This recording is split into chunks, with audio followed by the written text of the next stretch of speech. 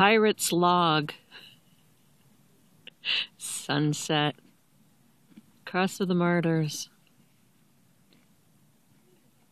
Really nice evening. Having a picnic. And staring at strange objects in the sky. Sun's fading fast.